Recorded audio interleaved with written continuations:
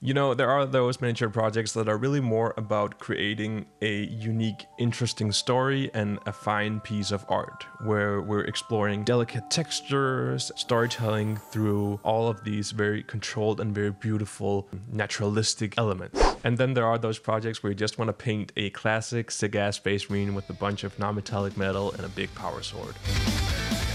And I love that miniature painting can be home to both of these aesthetics. So in today's video, I'll be showing you a very detailed paint job of the Primarch of the Dark Angels, Lion El'Jonson. And as per usual, the full one hour edit of this video is available to my patrons over on Patreon. And believe me, there is a lot to talk about in this video. So I definitely recommend hopping on over to Patreon and checking out the extended edit of this video. For now, let's talk about the colors and the paints that I've used for painting this miniature. The painting of Lion El'Jonson is a paint job that focuses heavily on the contrast between green and red, and we use a saturated yellow to bridge the gap between these two colors. The main colors on the palette are Kimera Violet, Phthalo Green, Schmincke Red Iron Oxide, and Schmincke Titanium Yellow.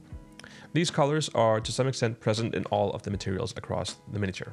But please notice that I'm only using the Kimera Violet for shading and for mixing. We never see it in its pure form on the miniature it's always mixed with either the red or the green. And if I do use the pure violet, I'll be covering it with subsequent layers. So I think that these colors are the most important for the paint job, but there are a few paints that are going to be helpful for mixing some of the other tones. And you can notice how all of these paints lie within the gamut that we've just seen on the screen.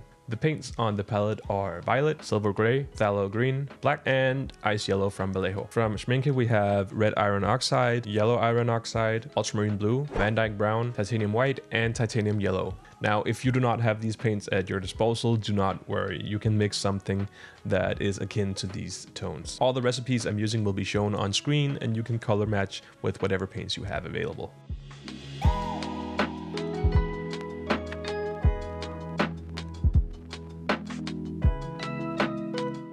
I start off with painting the gold. First of all, I have to apologize for the focus brackets that you're seeing on screen here. These will be going away in a little bit. I got a new camera, so I had to make a few tweaks and changes to some of the settings. As you can see, the palette that I'm using for the gold is displayed on screen right now. And here I'm using a combination of Schmincke and Kimera.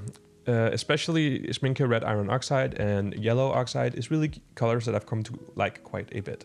These paints are really, really nice. I start with base coating the entire element with the darkest mixture of violet and red iron oxide. And as I layer, I make sure to cover smaller and smaller areas with the lighter tones. I'll be painting the lion on the shoulder to a level that I like before moving on to other parts of the miniature. I really want to make the lion shine and I'm focusing on the reflections on some of the raised areas and especially on the nose where I want the most of the light to hit. And if you've seen any of my other videos, you'll know that this approach is very different from what I usually do.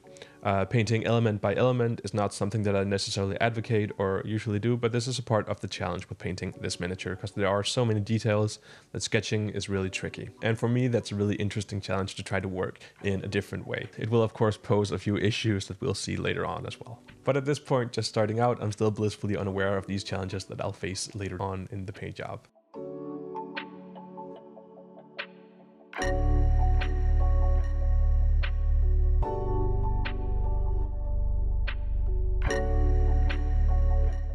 Once I've painted a bit more of the gold and have uh, the gold to a point where I like it, I'll start to work on the green armor. Here I'm using again violet as my shadow tone, just like I did for the gold parts, and phthalo green in the midtones and ice yellow to highlight. I'm looking to apply a more of a textured brushstroke as I move along this cylinder. I want the armor to feel like it's very dark and shiny, so the jumps in contrast have to be very, very big. And we have to leave uh, rather large parts of the armor in this very dark green tone.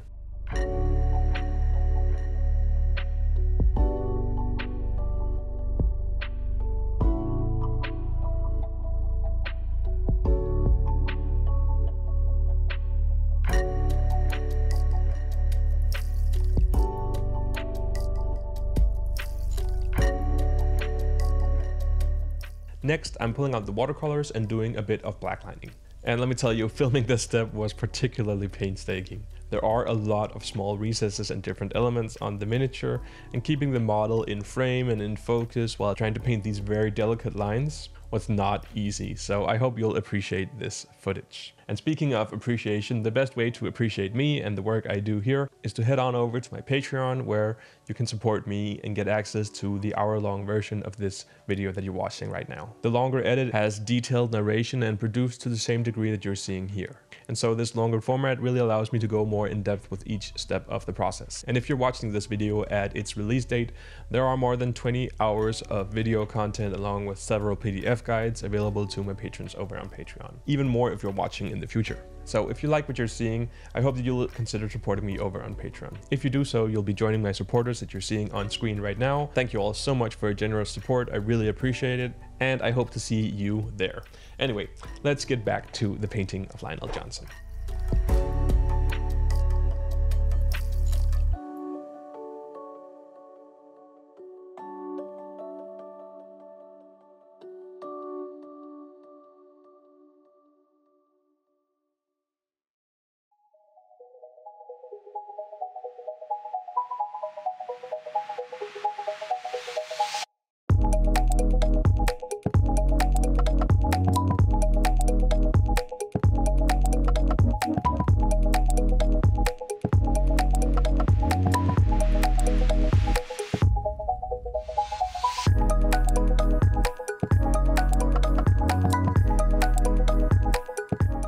As more and more of the model comes closer to being finished, I'm reworking some of the final highlights a bit more.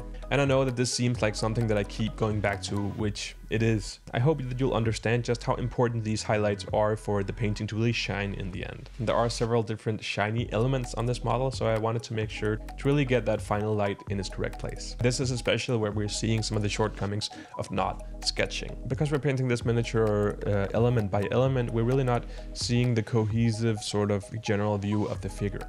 So whenever we paint something and it looks good on its own, such as the shield and this arm for instance, when we attach it to the model, we're then seeing that it changes the dynamic of the figure as a whole, and then what looked good on its own, all of a sudden we have to change that a bit. So in this project, I'm doing quite a bit of working and reworking on the final lights. On the top of the shield, I add these very bright reflections, and these serve to kind of frame the face alongside with the very shiny non-metallic metal on the shoulders. Also, on this part in front of the chin, I add some brighter lights as well. All of these highlights sort of create a halo around the face of the lion.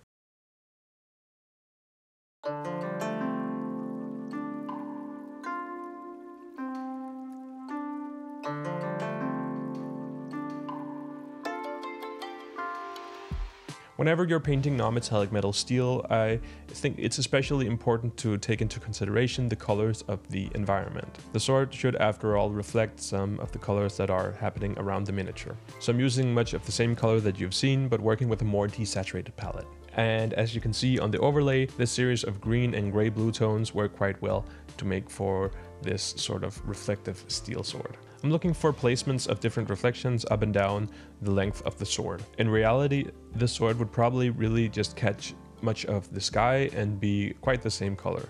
But in the far out universe of Warhammer 40k, we can do whatever we want. So let's have a little more fun with it than that and I'm not too concerned with adding a few extra gradients. I settled on an angle that's quite more or less the same down through the length of the sword, although on the brightest reflection that is down towards the tip of the sword, I break this rule a bit. I wanted to try to create this sort of lens flare effect, just around the brightest point on that tip on the middle of the blade. I'm making sure to work in relatively thin layers here, but I'm not glazing before I have locked in the colors. We can sketch a bit on this element, so let's take advantage of that. Once I like the placement of the reflections, I'm glazing in a bit of Van Dyke Brown and Phthalo Green. I also in this step add a little bit too much color, so I have to go in and rework some of the highlights. I also work with a bit more black lining and reworking the edges a bit off camera.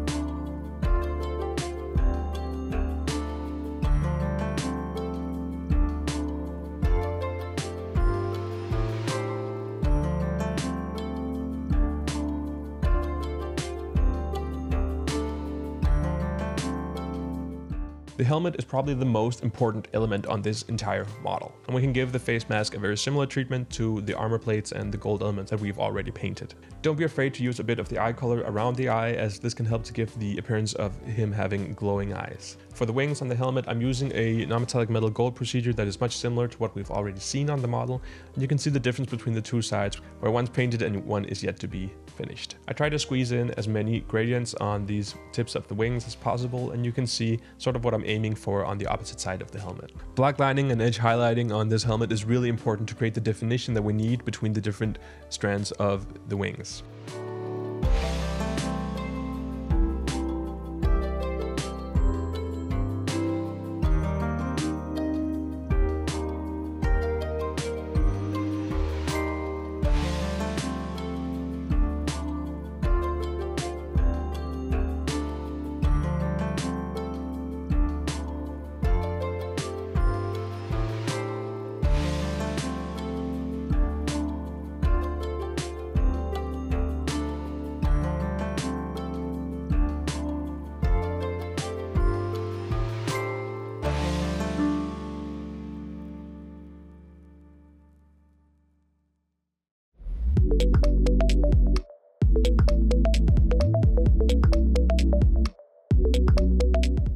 Base is done with a violet base coat, a bunch of dry brushing, airbrushing in some more saturated greens, and a little bit of a wash in the end to bring out some of the recesses. Pretty standard Warhammer painting techniques that I'm sure you all know.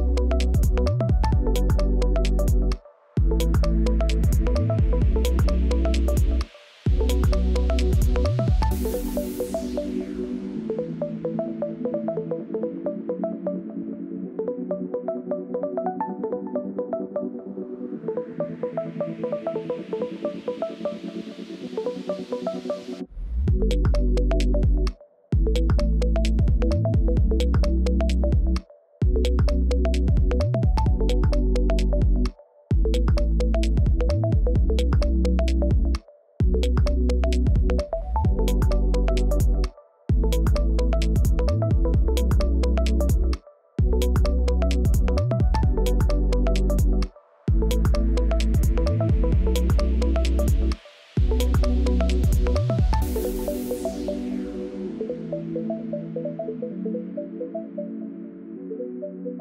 put the miniature on the base and called the lion finished. Are you ready to see the final product? Let's go.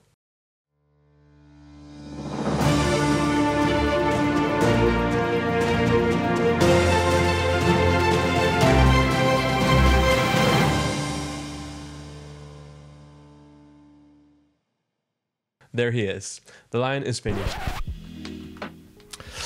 Is the lion really finished? Truth is, there are some corrections that I could still see that I'd like to do, but we'll save those for another video since this project is long overdue already. So if you're interested in seeing that, be sure to hit the subscribe button and maybe even sign up for the Patreon. See you soon. Oh yeah, and happy painting.